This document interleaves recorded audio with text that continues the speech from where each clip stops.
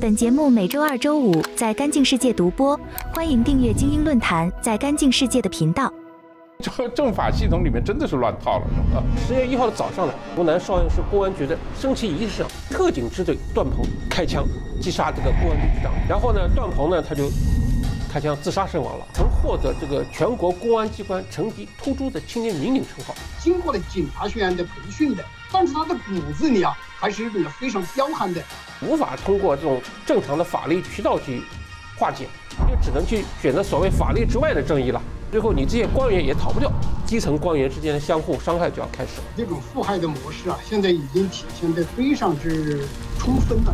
中共的这个官场里面的话，一旦开始斗，一旦得罪了人，一定往死里整。中共模式的这个权力争斗，从来是没有妥协的空间的，完全都是你死我活的。现在中共的政局确实是比较敏感，也比较极端。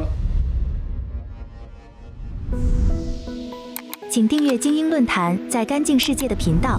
本节目每周二和周五在干净世界独家播出，欢迎大家关注收看。